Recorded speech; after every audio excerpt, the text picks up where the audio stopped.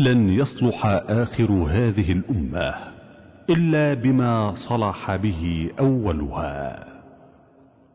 موقع أنا السلفي. فيقول الله عز وجل ولتكملوا العدة ولتكبروا الله ولتكبروا الله على ما هداكم ولعلكم تشكرون.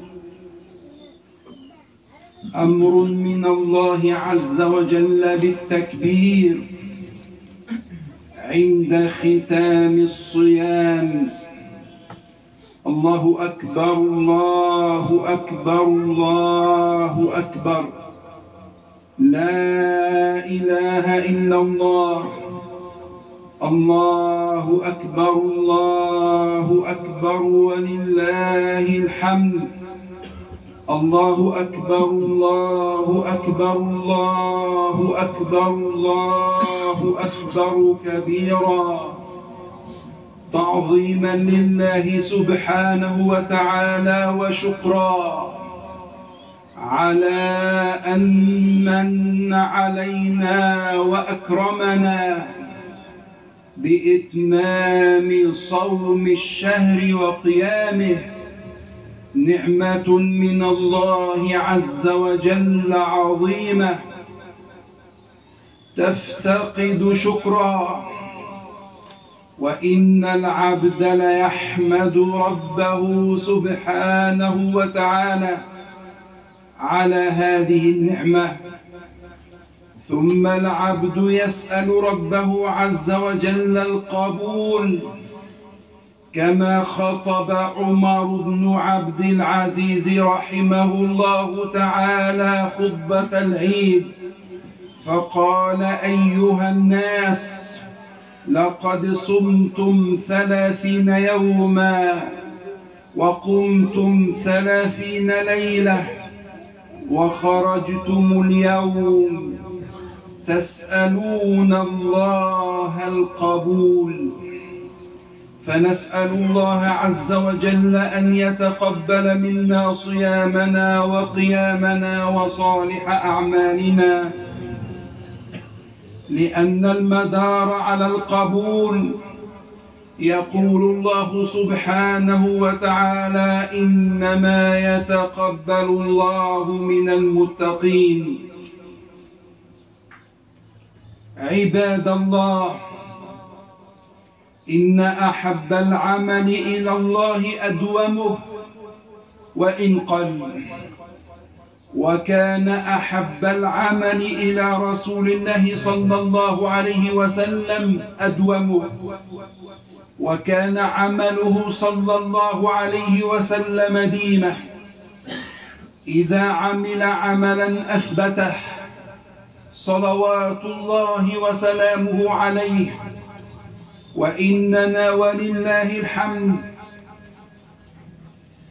قد أدمنا على طاعات في شهر رمضان من صلاة وصيام وقيام وتلاوة قرآن وذكر لله وصدقات وتعلم وتعليم ودعوة إلى الله. فلنداوم عباد الله على ذلك. فالله عز وجل يحب من عباده. إذا أطاعوه طاعة وإذا تعبدوا له بعبادة أن يديموها. والله عز وجل سبحانه من رحمته أن جعل لنا نفحات وسبحانه ينقلنا من طاعة إلى طاعة. فشهر رمضان قد قد شاف شهر رمضان قد ختم وكمل. واليوم يوم عيد الفطر هو أول أيام شهر شوال. الميقات الزماني لفريضة الحج يبدأ اليوم لأن الميقات الزماني للحج هو شوال وذو القعدة وعشر من ذي الحجة. فانظر عبد الله تنتهي من طاعة تدخل في طاعة.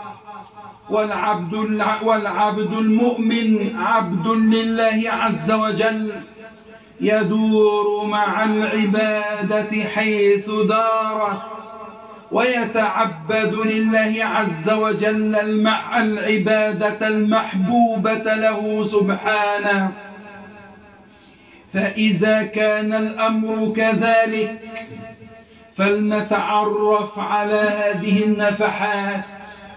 ولنتعرف على هذه الطاعات ولنتعبد لله عز وجل بها. قال النبي صلى الله عليه وسلم من صام رمضان ثم أتبعه ستا من شوال كان كصيام الدهر أي الأجر كأجر صوم سنة. الأجر كأجر صوم سنة. تصوم شهر رمضان والحمد لله. ثم تتبعه بصوم ست من شوال. تتحصل على أجر صوم سنة. والصيام وما أدراك ما الصيام. عبادة عظيمة جليلة. الأجر فيه يوفى بغير حساب. كما جاء في الحديث القدسي يقول سبحانه كل عمل ابن آدم له إلا الصيام فإنه لي وأنا أجزي به. فإنه لي ولا وأنا أجزي به. حتى في اقتصاص المظالم يوم القيامة يقتص من حسنات الظالم للمظلوم إلا حسنات الصوم. فلو بقي للعبد حسنات وما زالت عليه مظالم فلا يقتص من حسنات من حسنات الصوم. إنما يرد الله عز وجل العبد المظلوم. فانظر عبد الله لفضل الصيام. إلا الصيام فإنه لي وأنا أجزي به. يدع طعامه وشرابه وشهوته من أجلي. ويقول النبي صلى الله عليه وسلم من صام يوما في سبيل الله ختم له به دخل الجنة. وقال صلى الله عليه وسلم عليك بالصوم فإنه لا عدل له. ليس هناك عبادة تعادله. فتنتقل عبد الله من طاعة إلى طاعة. وكذلك صوم الاثنين والخميس وصوم ثلاثة أيام من كل شهر. ثم عباد الله قيام الليل. قيام الليل مدرسة تربوية. قيام الليل الذي فرض على النبي صلى الله عليه وسلم وصحابته سنة. كان واجبا عليهم سنة. لما في قيام الليل من حسن التربية وحسن التزكية والمراقبة لله سبحانه. ثم رفع الله عز وجل الأمر وخففه إلى الاستحباب. والحمد لله رب العالمين. فانظر لقول النبي صلى الله عليه وسلم. ركعتان يركعهما العبد في جوف الليل خير من الدنيا وما فيها. ويقول صلى الله عليه وسلم أقرب ما يكون الرب سبحانه وتعالى. أقرب ما يكون الرب من العبد في جوف الليل. تقوم في جوف الليل تخلو بربك عز وجل لا يراك أحد سواه. تقوم تصلي بين يديه وتتضرع له وهذه ساعة مباركة ساعة النزول الإلهي الذي ينزل فيه رب العزة والجلال نزولا يليق بكماله وجلاله. وينادي على عباده من يدعوني فأجيبه من يدعوني فأجيبه هل من هل من طالب حاجة فأقضيه هل من مستغفر فأغفر له.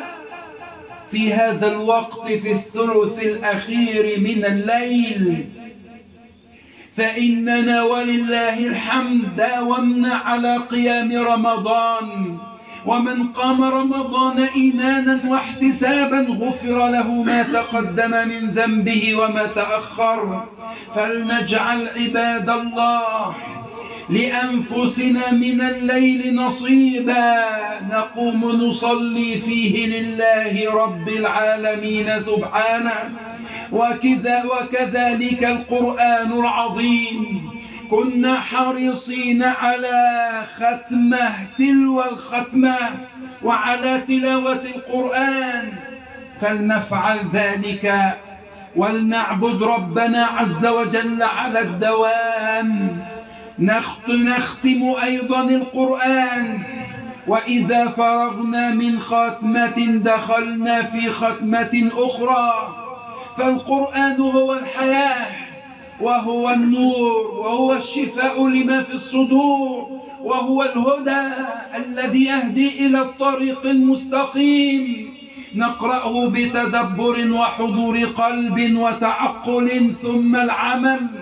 بذلك ننتفع بالقرآن وذكر الله. والصدقة يا عباد الله الصدقة الصدقة الصدقة يمنع الله عز وجل بها مصارع السوء تقي مصارع السوء. وداووا مرضاكم بالصدقة. والصدقة تمنع عن أهلها حر القبور. الصدقة تمنع عن أهلها حر القبور. وأهلها يستظلون بظلها يوم القيامة. إلى آخر ذلك من الفضل الذي جاء في الصدقة. فتصدقوا ولو بالقليل. وكذلكم عباد الله الدعوة إلى الله. السعي بالنصح بين الناس التذكير بالله. تحبيب الناس في الله رب العالمين. بالكلام القليل الطيب. بالكلام القليل الطيب. بالرفق واللين والنصح وقولوا للناس وقولوا للناس أي قولوا للناس كلاما حسنا. فالله عز وجل سبحانه وتعالى أمرنا بإحسان القول ولو مع الكافر. كذلكم عباد الله كذلكم عباد الله. لا بد وأن نعلم أننا للإبتلاء خلقنا.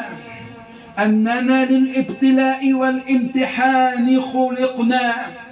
ليعلم الله عز وجل من يتقيه ممن يعصيه.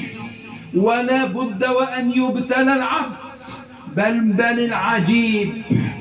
أن الله سبحانه وتعالى يقول يا أيها الذين آمنوا ليبلونكم الله بشيء من الصيد تناله أيديكم ورماحكم ليعلم الله من يخافه بالغيب. تأمل عبد الله هذه الآية الكريمة أن الله عز وجل لا بد وأن يبتلي عباده المؤمنين. لا بد من اختبار وأن هذا الابتلاء سيكون في متناول اليد ومقدور عليه لينظر عز وجل من يخافه بالغيب. من هذا الذي إذا خلا بمحارم الله يخاف الله رب العالمين؟ من هذا سيكون هناك ابتلاء؟ وهذه الآية عامة بشيء من الصيد. وهناك من يبتلى بامرأة كما قال صلى الله عليه وسلم رجل دعته امرأة ذات حسب وجمال فقال إني أخاف الله. وهناك من يكون تحت يديه أمانات وهو قادر أن يخون فيها لكنه يخاف الله. وهناك من سيبتلى كما في عصرنا هذا. من سيبتلى بهذا الهاتف بمواقع الإنترنت والتواصل بضغطة زر يدخل إلى ما يريد من معاصي الله من معاصي الله سبحانه وتعالى. ولا يراه أحد إلا الله. هذا ابتلاء جعله الله في المتناول والمقدور ليعلم الله من يخافه بالغيب ليعلم الله من يخافه بالغيب. فمن يخاف رب العالمين فإنه سيراقبه في ذلك. فاعلم عبد الله أننا للابتلاء والامتحان خلقنا نحن في امتحان. فمن مات على خير فقد فاز واستراح وذهب إلى جنات النعيم فالصبر صبر ساعة. كذلكم عباد الله إنما المؤمنون إخوة أخوة عقدها الله عز وجل مهما تباعدت الديار. واختلفت الألوان واللغات. إنما المؤمنون إخوة أخوك هذا له حق عليك. حق النصرة حق النصرة وحق الدعاء. فعندما يكون مظلوما أو أو أو يكون مك أو يكون مهزوما فإنك تنصره بالمستطاع وإن إخواننا في غزة يبادون إبادة على مرأى ومشهد من العالم كله بل تواطؤ تواطؤ اليهود مع النصرانية الاستعمارية لإبادة المسلمين في غزة وفلسطين وهذا يكشف القناع القبيح لحضارة الغرب التي تريد أن تستعبد المسلمين وأن تنهب خيراتهم. هذا يا عباد الله درس واضح للجميع. فهؤلاء لهم حق النصرة علينا. النصرة بالمستطاع بالدعاء وبالمال. وبالنفس إن تطلب الأمر ذلك وكان متاحا. عباد الله الجهاد بالمال الآن متاح. الجهاد بالمال الآن متاح. وهذا يصل إليهم والحمد لله. والشاحنات تلو الشاحنات تدخل إليهم والحمد لله. هذا في المستطاع. واجب علينا أن ننفق من أموالنا. واجب علينا أن نجاهد بأموالنا. هذا ما في المستطاع. فالله عز وجل لا يكلف نفسا إلا وسعها. ثم عباد الله التوحيد التوحيد. التوحيد التوحيد. عبادة رب العالمين سبحانه. إفراده عز وجل بالعبادة. فمن كان آخر كلامه لا إله إلا الله دخل الجنة. فحافظ عبد الله على عقيدتك على توحيدك أن تكون عبدا لله وحده أن تعبده وحده. لا تشرك به شيئا. والحذر ثم الحذر. من من أناس حذرنا منهم صلى الله عليه وسلم. فقال إنما أخاف على أمتي الأئمة المضلين. إنما أخاف على أمتي الأئمة المضلين أي أئمة البدع الذين يدعون إلى البدع والضلال ويدعون إلى عصيان الله وارتكاب محارمه. والنبي صلى الله عليه وسلم أخبرنا أنه سيكون في آخر الزمن شياطين. شياطين إنسية. شياطين نستعذ بالله من شرهم. سيكون في آخر الزمن شياطين يدعون إلى عصيان الله وارتكاب محارمه. تخيل تخيل يدعون إلى عصيان الله. يدعون إلى ارتكاب محارم الله. شياطين قلوبهم قلوب الشياطين في جثمان إنس. كما وصفهم النبي صلى الله عليه وسلم. فالحذر الحذر عباد الله. استمسك استمسك بدينك واعتصم بربك سبحانه وتعالى. واصبر والصبر ساعة صبر ساعة. روح ستخرج بسلام إلى باريها وبعدها تفوز تفوز بجنات النعيم. دار خلد أبدا شباب أبدا. لا تبأس لا يفنى شبابك ولا يفنى نعيمك. ودائما ضعف ضع أمام عينيك منزلك في الجنة. وأنت تسير في ملكك في الجنة. وأنت على سريرك تنظر إلى أقصى نقطة في ملكك في الجنة في بيوت بيوت من ذهب بيوت من لؤلؤ فيها ما تريده من زوجات حسان من الحور العين ومن الزوجات المؤمنات الصالحات. هذا كله نعيم لك منزلك في الجنة. فلا تبع. منزلك هذا بمنزل ستغادره ستغادر كل شيء وسنخرج من الدنيا كما أتينا إليها. فلا تغرنكم الحياة الدنيا. ثم عباد الله ثم عباد الله نقول لأنفسنا جميعا نقول لأنفسنا جميعا اتقوا الله اتقوا الله. لنتق الله؟ بامتثال أوامره واجتناب نواهيه. وإن من وإن مما سنسأل عليه أمام الله عز وجل الأولاد. أولادنا أمانة وسنسأل عنهم فإياكم يا عباد الله إياكم من ظلمهم ظلم الزوجات والأولاد. يا أيها الذين آمنوا قوا أنفسكم وأهلكم نارا. دلهم على الله أعنهم على طاعة الله. حذروهم وامنعوهم من معصية الله حتى لا تسأل أمام الله عز وجل عنهم.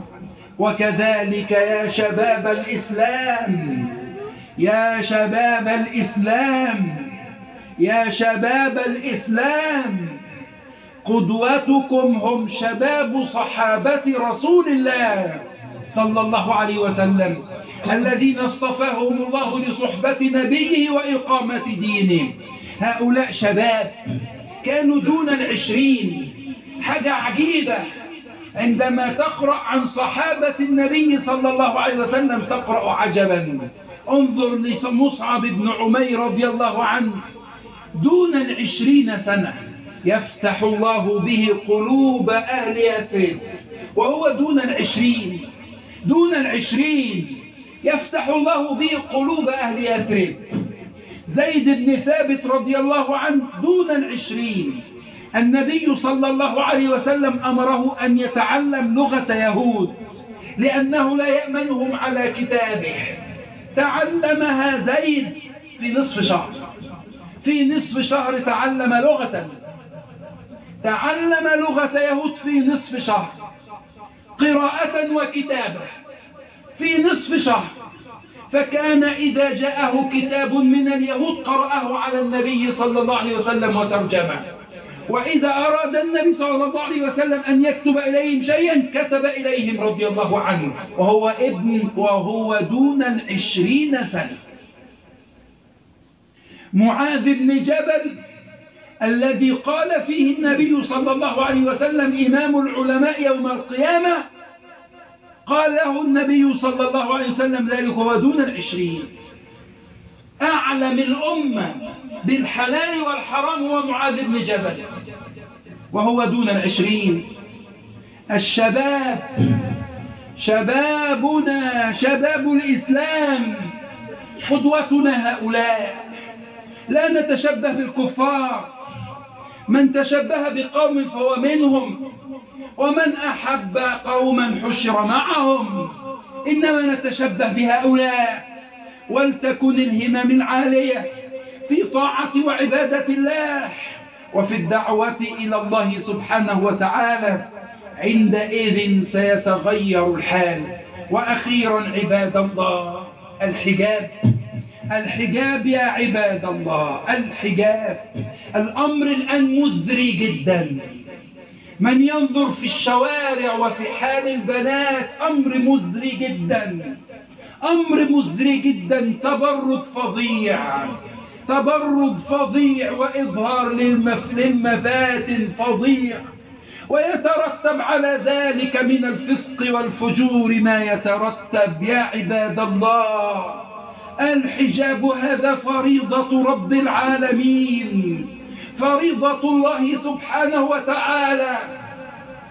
والتبرج هذا تبرج الجاهلية الذي نهانا الله عنه ونهى نساء المؤمنات عنه. والتبرج هذا صفة نفاق. فلما يا عباد الله؟ نرى من يربي بناته على هذه الصفة؟ ولما نرى من, من يشتري لبناته لباس أهل النار؟ ألا ولباس التبرج؟ لأن النبي صلى الله عليه وسلم قال صنفان من أهل النار لم أرهما لم يراهم النبي صلى الله عليه وسلم. منهما نساء كاسيات عاريات. أي تكسي بعضا وتعري بعضا. نساء كاسيات عاريات مميلات مائلات. رؤوسهن كأسنمة البخت المائلة لا يردن على جنة ولا يجدن ريحها. وانظر عبد الله. هذا في مرأة تفعل في شعرها ذلك تحت خمارها. فما بالك بالمرأة التي تمشي بشعرها؟ أمر مهول أمر فظيع. لا يتخيل أن امرأة تمشي بشعرها بين الناس. أمر لا يتخيل. فهذا يا عباد الله أمر لا ينذر إلا بالشر والويل والعقاب. نعوذ بالله. لابد من عقوبة إذا ظهرت المعصية للفرد والجماعة والدول والشعوب وما أصابكم من مصيبة فبما كسبت أيديكم ويعفو عن كثير في أدلة كثيرة من الكتاب والسنة نحتاج إلى التوبة والتوبة هي وظيفة العمر عباد الله. اليوم يوم عيد. يوم فرح وسرور يوم عبادة وطاعة.